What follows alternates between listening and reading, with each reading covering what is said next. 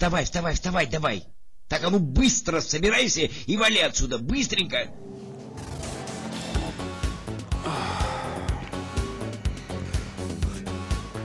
Вечеринки в компании это всегда какой-то праздник, который должен закончиться. И желательно вовремя.